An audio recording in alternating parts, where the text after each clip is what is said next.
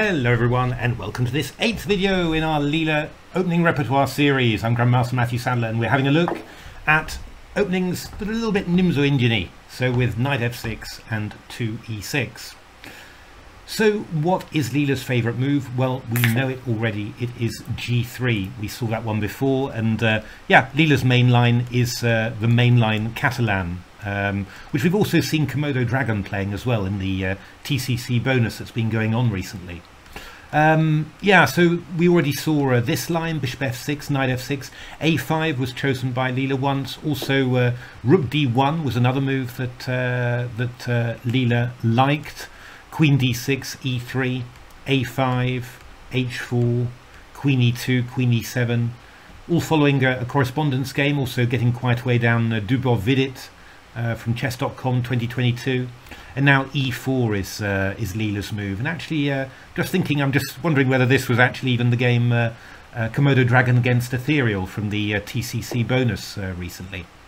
Um, it's a slight advantage for white. I mean Leela gives gives white 0.12 um, but again not necessarily too scary for black but it's definitely something you can play for a win. Certainly got more chances than in a Berlin. Um, what are White's normal ideas? Well, obviously, apart from g3, knight c3 is pretty common. And, uh, well, bishop b4, at lower depths, Leela likes uh, the move queen c2. Um, so, uh, and this is its main line, quite different to uh, to Stockfish's, I have to say, and uh, Komodo Dragons as well. So g5, knight c6, e3, h5, I mean, really aggressive stuff. Uh, bishop e5 and knight e4. Um, and uh, this is actually the game Serrana against Bluebound, chess.com 2020, where white went um, knight f3, uh, bishop b5, bishop d3 rather, is Leela's novelty. Uh, bishop a5 takes, knight e2 takes, queen d5. But to be honest, I mean, I, I do quite like uh, I do quite like black here. Obviously, a little bit of a problem with the uh, with the king side, but it's not too bad. And uh, um, yeah, you know, I mean, Leela gives it 0.07 for white. But queen c2 is not Leela's favourite move. The, the favourite move, I mean, it really surprised me, but uh, Komodo and, uh, uh, and Stockfish also want the same. They all feel that 4e3, the Rubinstein, is White's best attempt. I mean, it's not giving White a huge amount, but somehow the chances for an advantage are better than queen c2.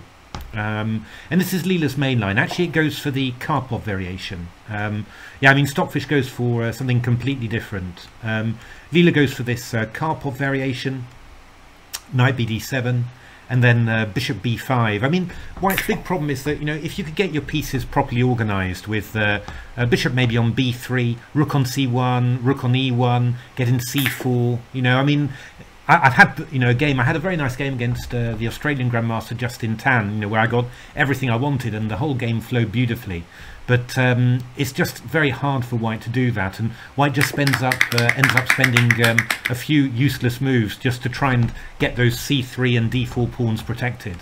So, uh, but this is uh, Leela's idea: Rook c1, Bishop d3, Rook e8, Rook e1. As you can see, you know pieces have moved around a little bit.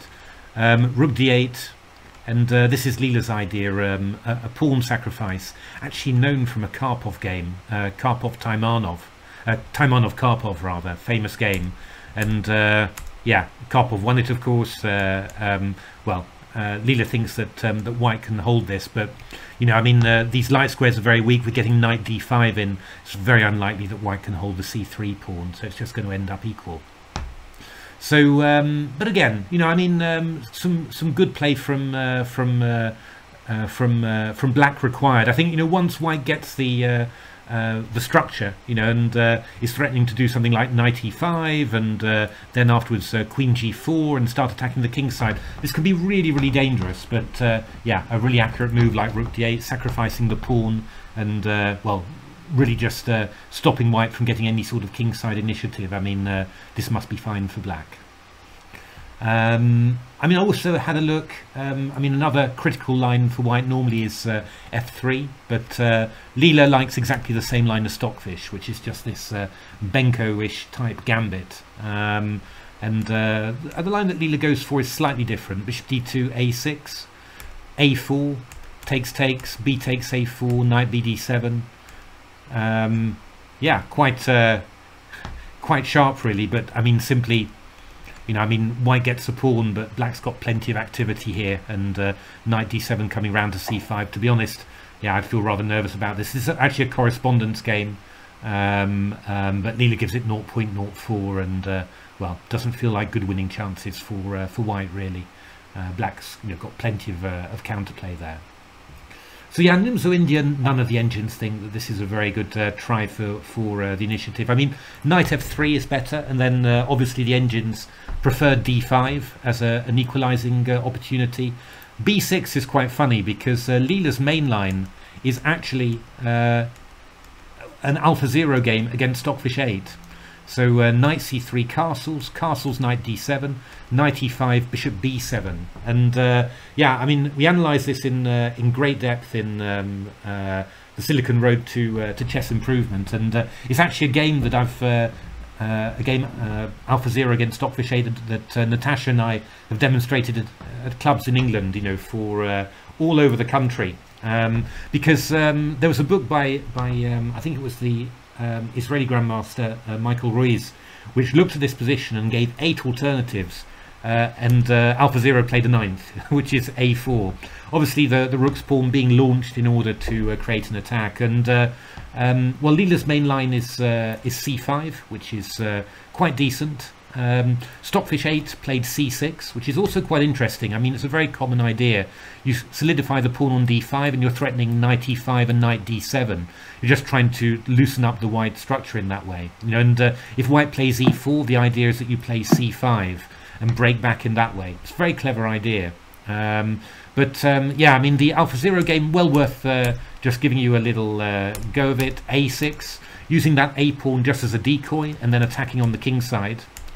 Stockfish 8 picks up the pawn, and now uh, this is the big moment really. Bishop g5 has been played in correspondence, and it's also the very best defense. Uh, Stockfish 8 played um, rook e8, e4, d4, knight e2, bishop b4, and got hit by this uh, three pawn sacrifice, knight f4. And there's some uh, amazing variations. As I said, you know, it's uh, all in uh, the Silicon Road to to chess improvement.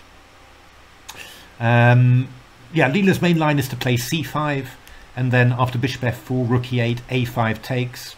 Um, actually this is also in the silicon road to chess improvement. I actually analyzed this uh, um, for the book. And um, yeah I mean I think I actually thought that uh, I was quite keen on rook takes c5 here as an exchange sacrifice.